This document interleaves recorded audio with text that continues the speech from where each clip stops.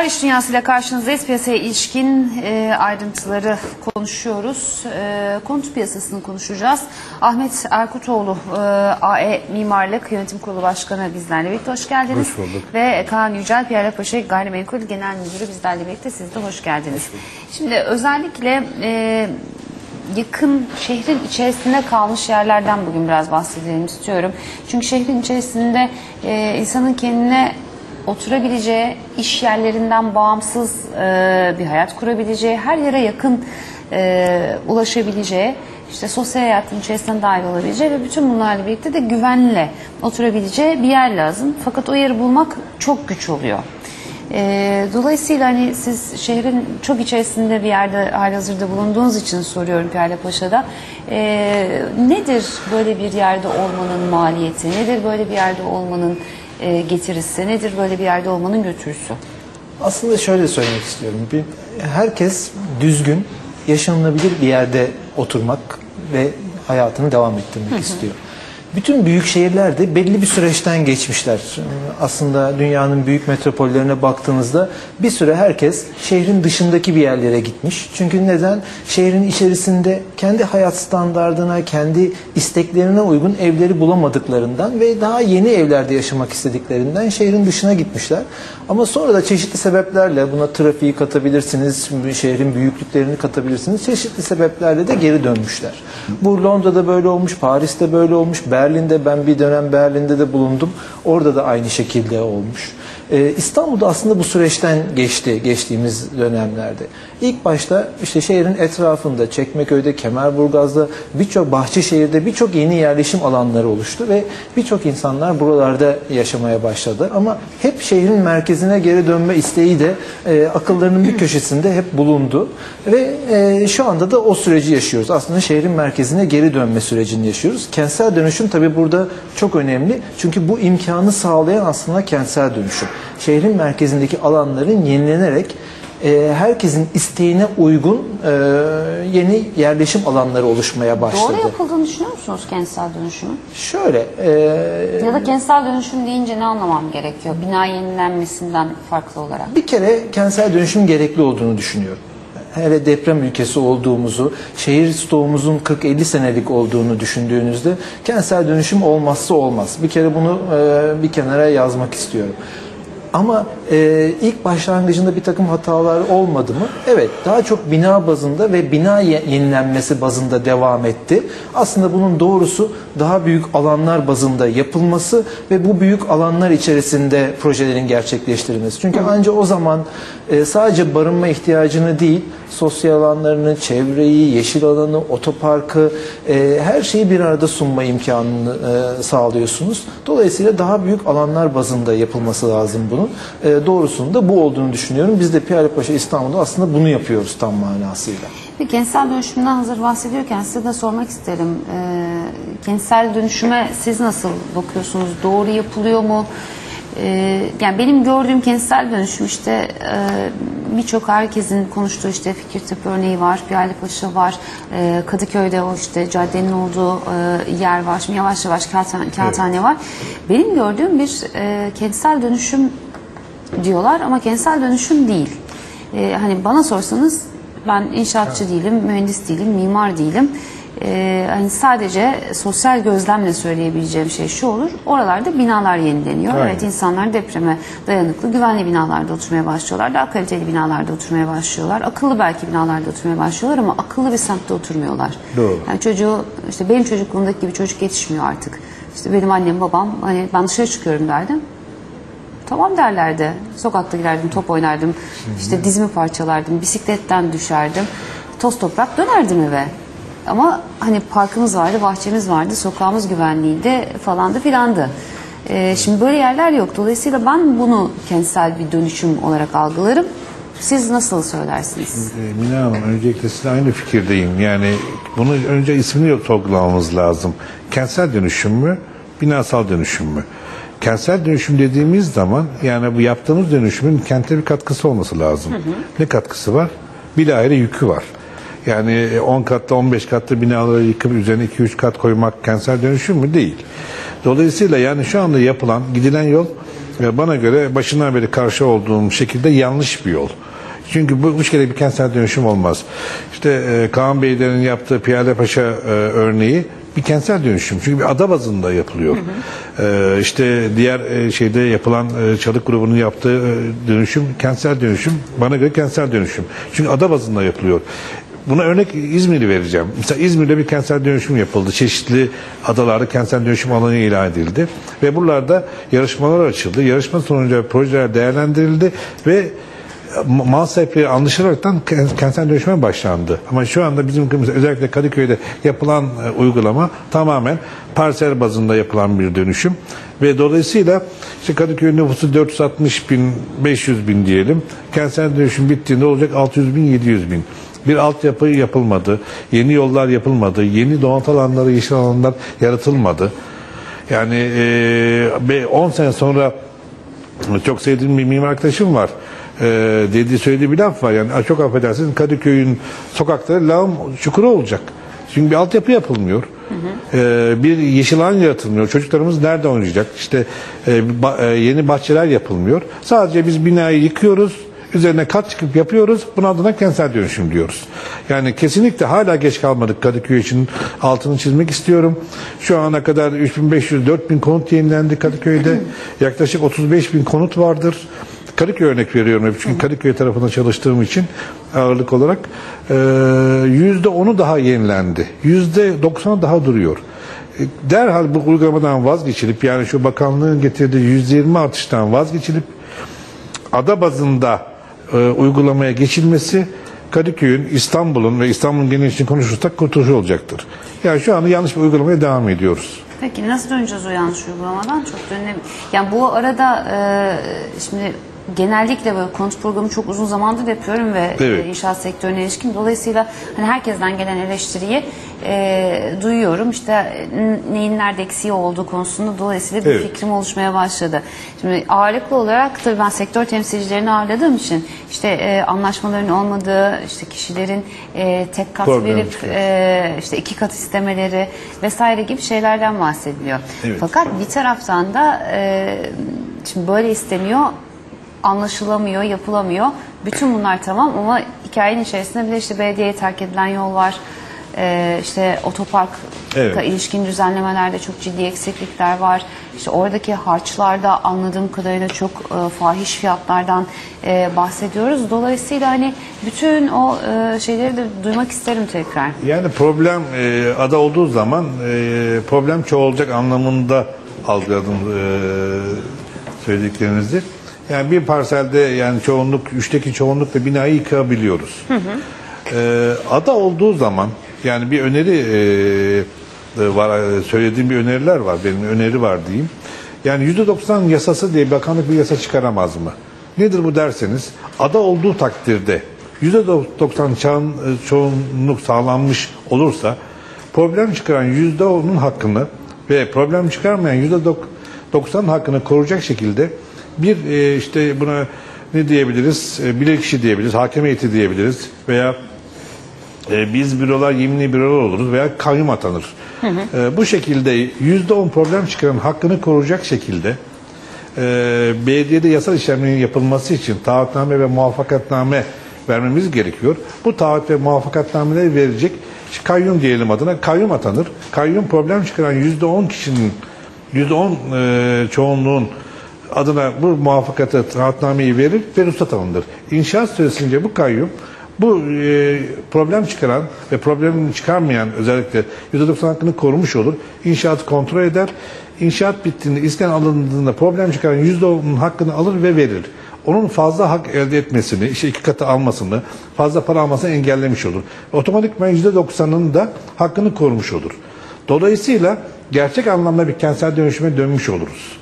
Yani bunu yapması lazım. Yani çok basit bir olay. %90 yasası çıkarırsa insan haklarına aykırı mıdır değil midir onu bilemem. Yani kutsal boyutunu ama ben bir uygulamacı mimar olarak yani çözümün e, adaya dönmekte çıkar engelleri de bu şekilde aşmakta olduğunu görüyorum. Ve bu şekilde bir öneride bulunuyorum. Siz nelerle karşılaşıyorsunuz? Sizin öneriniz ne olur? Aslında e, şimdi e, iyi bir bilinçlendirme lazım kentsel dönüşümde. Her konuda, her yerde hem e, ya, hak sahipleri bazında hem Diğer tarafta müteahhitler, yapımcılar bazında e, bu konunun çok iyi anlatılması lazım. Çünkü birçok yerde görüyoruz ki aslında yanlış bilinen çok e, şeyler var. Bugün riskli alan bazında baktığınızda birçok şeyi yapma imkanınız var. 2012 yılında çıkan 6306 sayılı e, riskli alanların yenilenmesiyle ilgili kanun ve daha sonrasında çıkan yönetmelikler, geçen sene detaylı bir yönetmelik çıktı. Aslında birçok şeyi kendi içerisinde barındırıyor.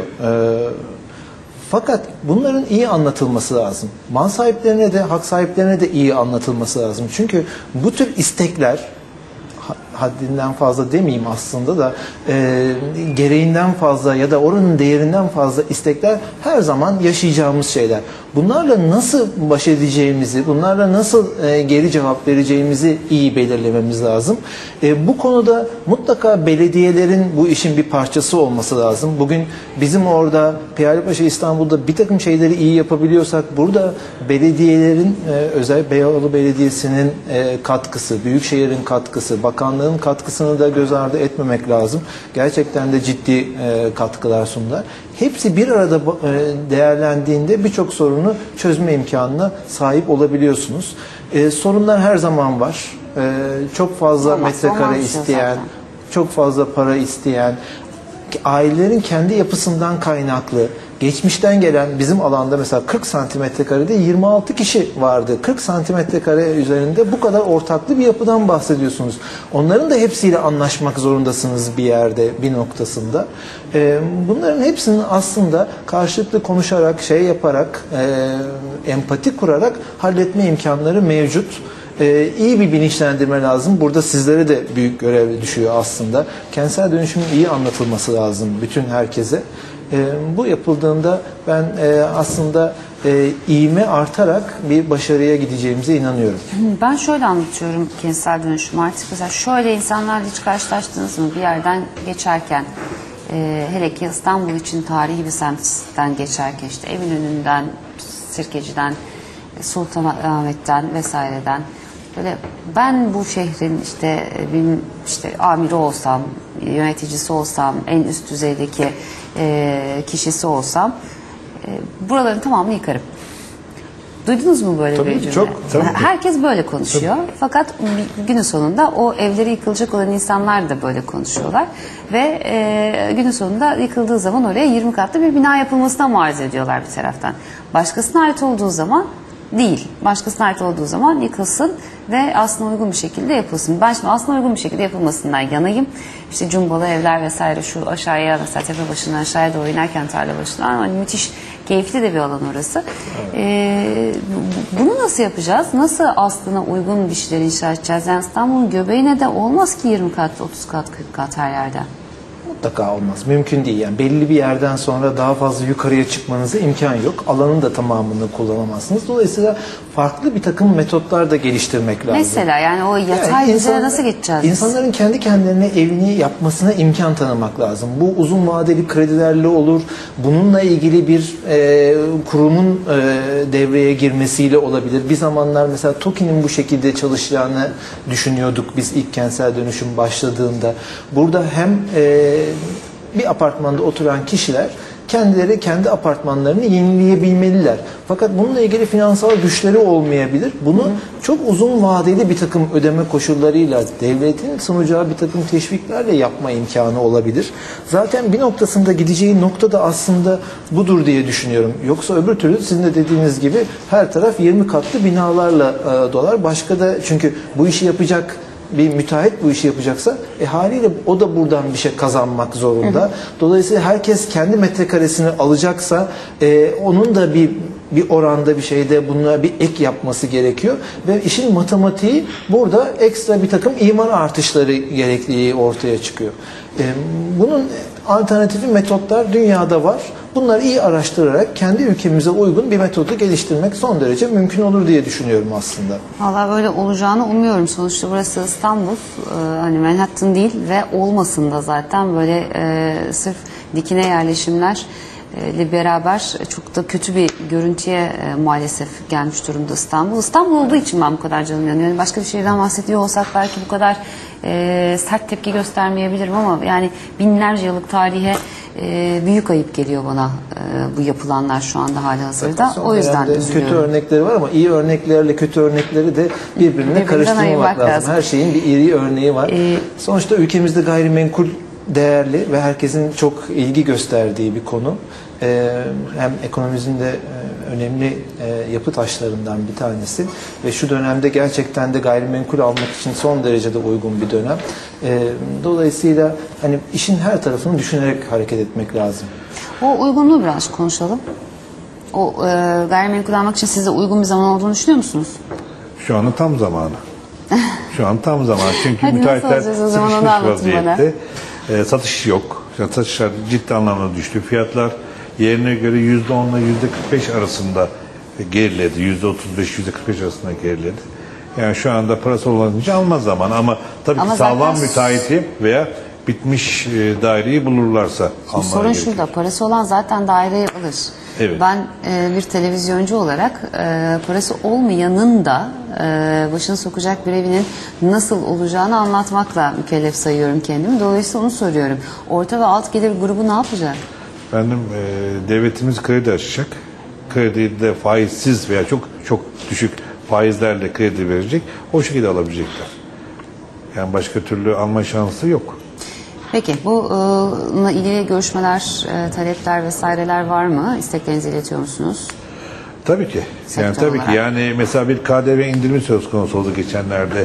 Ee, inşaatta belli e, malzemelerde yüzde e, bire düşürüldü. İşte banyo aksesuarları, mutfak dolabı, işte radyatörler falan gibi. Bunun yani genelde tüm inşaat malzemelerine yansıması lazım. Mesela kombi diyoruz. Kombide e, KDV yüzde bire düşürüldü. Ee, yönetmelik gereği işte belli metrekare geçen inşaatlarda kazan dairesi koymak zorundayız. Kombi koyamıyoruz. E, kazanından da düşelim o zaman. Yani ne bileyim kapılardan düşelim, doğramalardan düşelim, işte parkelerden düşelim. Yani e, inşaatın tüm kalemlerinden bu eğer KDV indirimi olursa fiyatlar e, yani tüketici lehine biraz daha e, olumlu hale gelecektir. Bu arada izleyicilerimizden gelen soruları bir taraftan okumaya çalışıyorum. Siz dinlerken kentsel dönüşüme ilginiz var mı ok meydanında e, diye sormuşlar. Var mı? Ok Meydanı zaten Beyoğlu bölgesinde Beyoğlu. tam da bizim alanın karşı tarafı oluyor. Ee, Orada e, yeni bir kentsel dönüşüm e, hamlesi var zaten Beyoğlu Belediyesi önderliğinde devam ediyor. E, ciddi bir çalışma yapılıyor orada.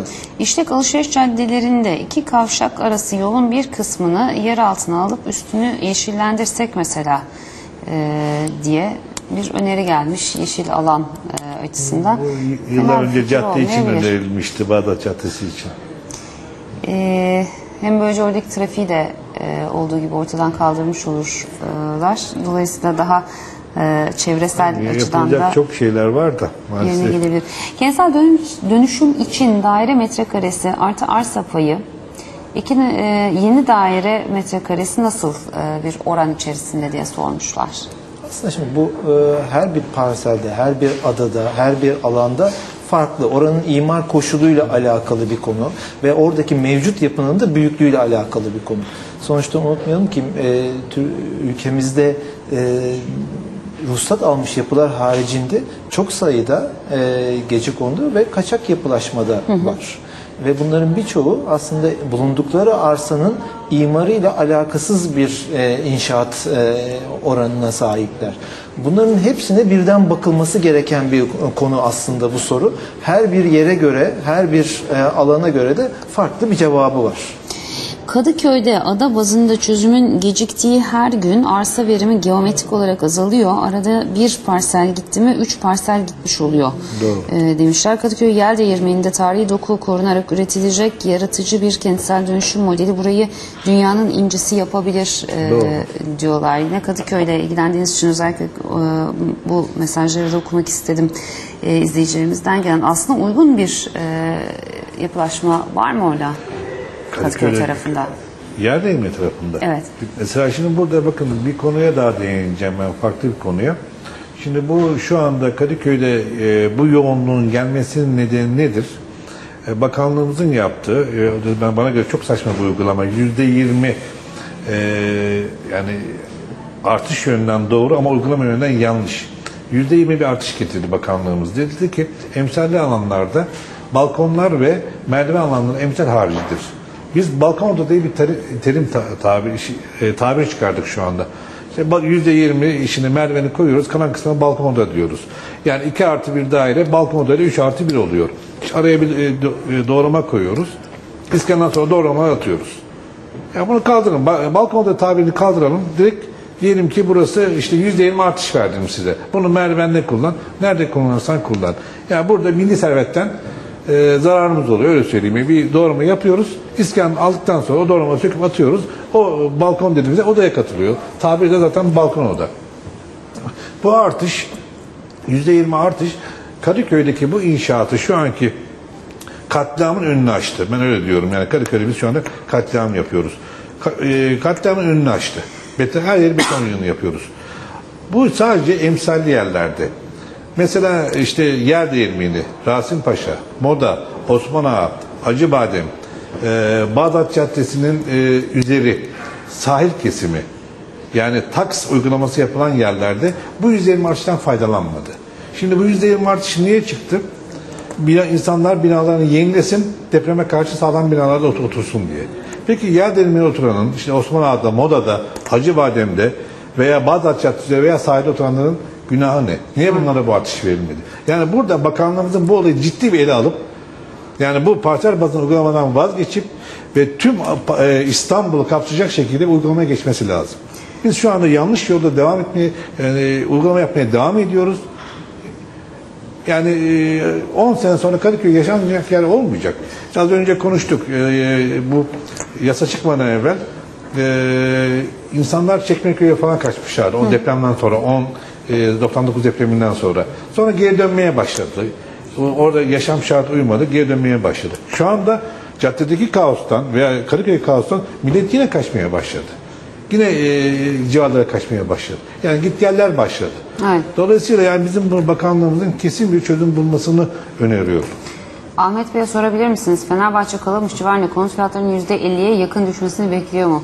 Ha, %50'ye yakın düşmesi... Yüzde değil de yüzde yani e, 35 civarlarında düştü. Gerçekten düştü Bayağı yani. iddialı bir rakam çünkü %50. Yani dü- düştü. Yani bizim metrekaresi yani Nedir orada hesap düşüş yaparken şekli neden? yani bir, bir basit bir müteahhit hesabı yapıyoruz. Diyoruz ki caddede veya şey sahil tarafında yaptığımızda metrekaresi 7 bin 8 bin dolar diyorduk. Şu anda 5 bin 4 bin 500 dolara e, alma şansları var diyebilirim. Ha, dolar Ama müteahhite göre değişiyor. diyorsunuz ama bir taraftan hani bu hesabı ilk yaptığınız zaman dolar kaç liraydı şimdi yaptığınız zaman dolar TL'yi de kaç lira? çevirebiliriz. Yani atıyorum 3 trilyonsa bir daire atıyorum sahil tarafında şu anda yani 2 250 2 300'e e, yani e, veren elini kaptırır öyle söyleyeyim. Ee, var mı sizin eklemek istediğiniz? Kaç dakikan var İlker? İki dakikamız var. Peki e, sizin eklemek istediğiniz bir şey var mı Piyale Koşu tarafına özellikle? Yani burada yine iyi örneklerle kötü örnekleri birbirinden ayırmamız gerektiğini düşünüyorum. Ben sizin demin söylediğiniz şeye de e, nasıl ev alacaksınız sorunuza da bir cevabım var. Aslında çok farklı imkanları sunuyoruz. Her ev belli bir ölçeğin üzerindeki firmalara gittiğinizde hem konut kredisini kullandığınız hem firmanın kendi finansmanını kullandığınız çok çeşitli ödeme şartlarıyla herkese uygun, her keseye uygun e, imkanlar sun- sunuyoruz e, şeyde. O sayede de satışlarımıza devam ediyoruz. E, dolayısıyla e, sizde de geldiğinizde mutlaka size uygun bir dairede bizim orada buluruz diye düşünüyorum. Demin e, dediğim işte şu sıralar konut almanın tam zamanı aslında biraz bunlara da dayanıyor. E, biliyorsunuz bir sürü kampanya yaptık e, bu dönem içerisinde. E, hem sektörü hareketlendirmek için e, hem de aslında e, herkese de bir takım farklı imkanlar sunmak için. Buna bankalar da elin taşın altına koydular. Bizler de aynı şekilde ve gerçekten de e, değişik imkanlarda son dönemde de çok farklı farklı satışları gerçekleştirdik. E, fiyatların da şu sıralar hani özellikle TL bazında satanların makul bir yerde olduğunu düşünürseniz aslında gerçekten uygun bir zaman içerisindeyiz. Ee, yine izleyicilerimizden gelen e, sorular üzerinden gideceğim. E, güzel de bir öneri var o yüzden e, bunu söylüyorum. Mesela Yel Değirmeni, Moda gibi yerlerde demiş ama ben e, Türkiye'nin e, şey İstanbul'un özellikle tamamı için aynı şeyi düşünüyorum. Adaların altı otopark yapılsa e, bunların gelirleri o inşaatları zaten finanse etmez mi?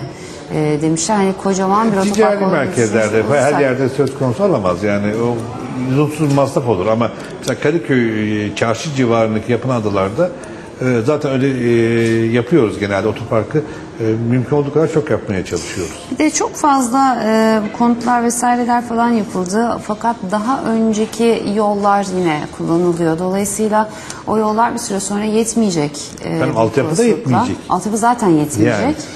Zaten Ee, sorun orada işte yani kentsel dönüşümün şu anda durdurulup yani durdurulup derken daha rasyonel hale getirilmesi lazım. Ada bazına dönülmesi lazım. Yani bir Fikirtepe örneğine verirsek Fikirtepe yapıldı ama daha altyapı henüz yok. Ne zaman yapılacak? Yani Burada bunlar ben hep kısaca ben de bizim oradan bir örnek vermek istiyorum. Aslında tam de sorunuzun cevabı. Biz de ilk altyapıyı yaptık, projenin altyapısını.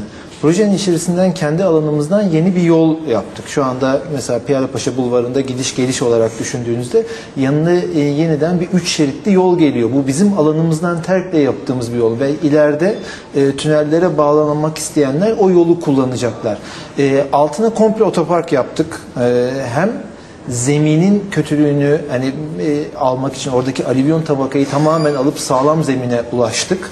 Dolayısıyla binanın güvenilirliğini iki kat daha arttırdık. Hem de içerisine otopark yaparak komple altında büyük bir sorunu çözdük. 4000 araçlık bir otoparkımız var projenin altında. İşte bütün bu örnekler aslında bir projenin e, daha büyük bir alan bazında bunu ada diyebilirsiniz, büyük parsellerin birleşmesi diyebilirsiniz. Büyük bir alan bazında yapıldığında e, ne kadar makul sonuçlar doğurduğunu gösteriyor aslında.